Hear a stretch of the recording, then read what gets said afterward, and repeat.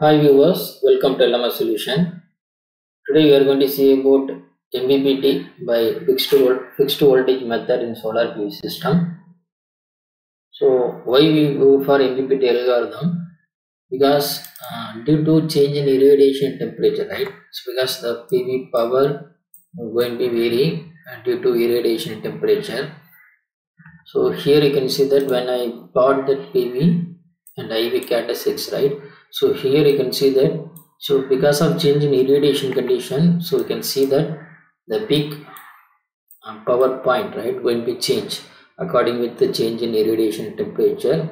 So that point need to be extracted from the PV in order to get the maximum power, right? So we need to we need to operate that uh, PV power uh, at the maximum power point. So when you have to operate this PV power in this region, right? So you cannot get the maximum power, right? So you you lost some power from this uh, PV panel, right? So we need to operate that uh, PV point always here, right? With the change in irradiation condition. So for that only we go for a the maximum power point uh, tracking algorithm or ma- maximum power point uh, tracking method. Okay. So here we are going to use fixed uh, voltage concept method. So here you can see that the uh, the voltage point right for different irradiation condition. For example, for 1000 watts per meter square, the voltage will be is around uh, 290, right? For 500 is around 293.3, and for 100 right is around 280. So here I'm going to uh, choose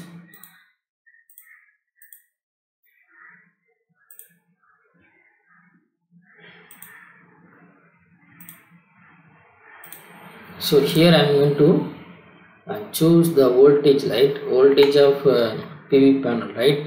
So in between this region that means 280 to 293 so here i'm going to choose the voltage around the 285 so i'm going to operate that uh, pv panel around 285 volt.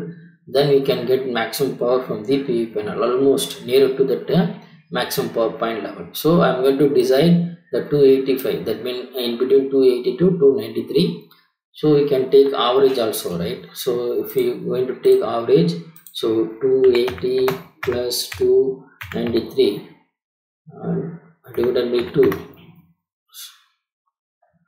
sorry 280 plus 293 divided by 2 so you will get around uh, 286 okay so we can operate that panel at a 286 volt right? Uh, then we will get maximum power for all kind of operating condition okay? When when uh, the going to be changed okay? So here you can see the pv panel rating right? So single panel rating is uh, to 13.15 watts and then voltage at maximum power point is 29 and then the current at maximum power point is 7.35 amps so here we are using a 10 panel in series and then uh, 40 parallel resistance okay? So it can generate maximum power is around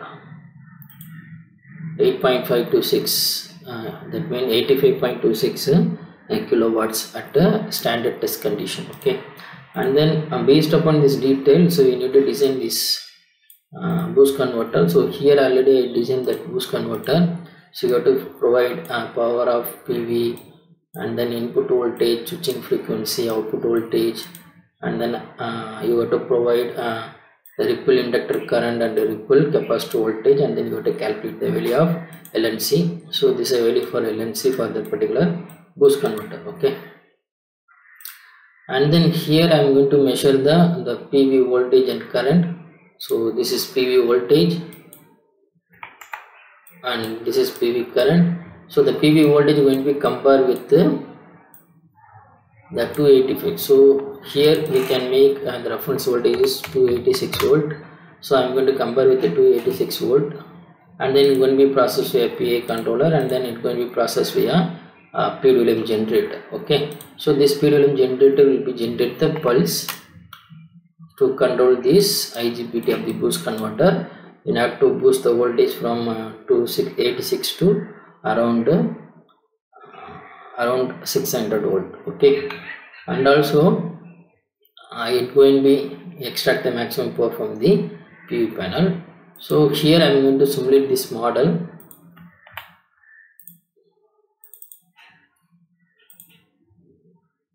So now you can see that the panels operate around 286 volt right? As per that uh, reference voltage command and also PV current is around 298 amps and then PV power is around 8.5 that means 85 kilowatts right? So it is extracting the maximum power from the PV panel and also I am going to change the uh, irradiation condition from irradiation condition from 1000 to 500 after one second. And also you have to check the results okay?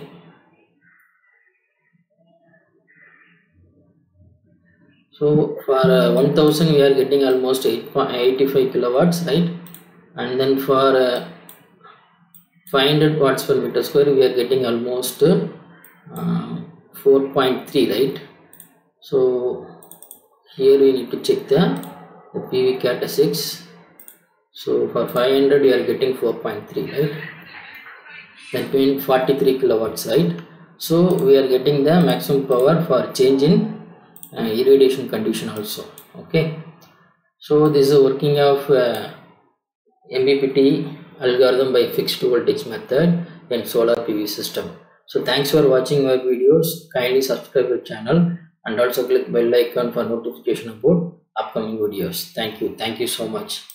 Bye bye